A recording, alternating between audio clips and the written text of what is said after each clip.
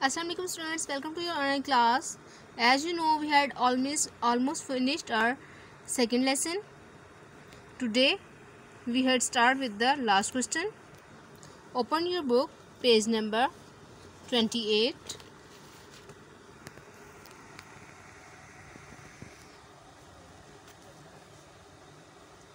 write the names of the organisms next to its adaptation, यानी कि adaptation आपको दी गई है कि किस माहौल में वो रह सकते हैं, उन कैमल्स उन जानवरों के अपने नाम बताने हैं, ये जो भी प्लांट्स हों एनिमल्स हों बर्ड्स हों, जो भी उनके अपने नेम्स बताने होंगे कि वो क्या चीज़ है, ठीक है?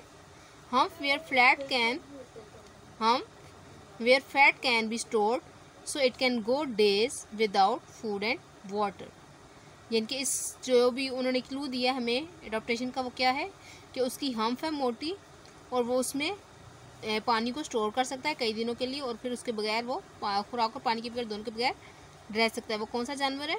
या ऑर्गेनिज्म है। Camel C A M E L camel ऊँट.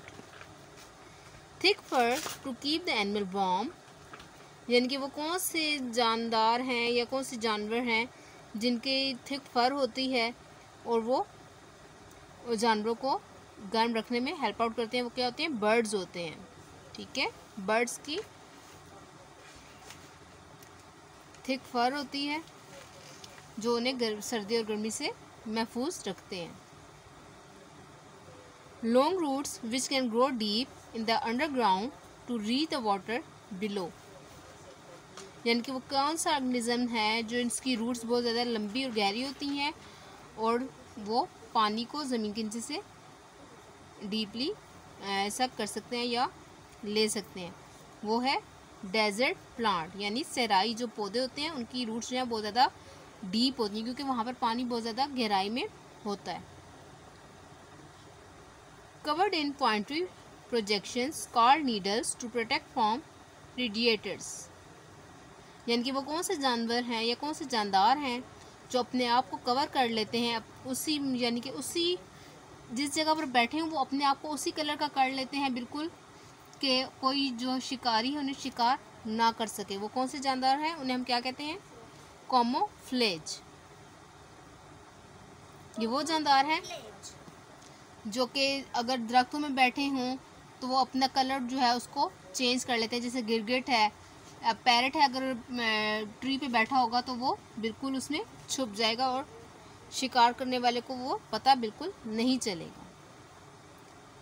स्ट्रॉन्ग टीथ एंड क्लॉज वो कौन से जानदार हैं जिनके स्ट्रॉन्ग टीथ और क्लॉज होते हैं? एनिमल्स लाइक टाइगर ठीक है, जैसे कि टाइगर हैं।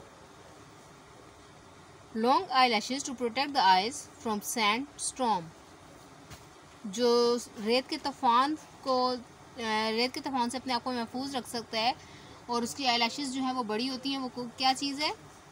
कैमल। कैमल की जो आई होती हैं वो बड़ी होती हैं ताकि वो अपनी आइज़ को, जब रेत का तूफ़ान आए तो वो अपने आप को उससे प्रोटेक्ट कर सके, अपनी, जिनकी आँखों में रेत जाने से रोक सके, अपनी आइज़ को क्लोज करके। Long hollow stem to float on water अब वो कौन सा ऐसा पौधा है जिसकी हॉलो स्टेम होता है, यानी कि खोखला तना होता है, और वो अपने आप को पानी पर तैरता है। और पानी में वो तैरता है, वो कौन सा है? वाटरी प्लांट ठीक है?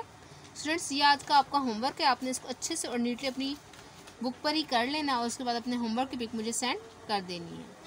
ओके स्टूडेंट्स टेक केयर अल्लाह हाफिज़.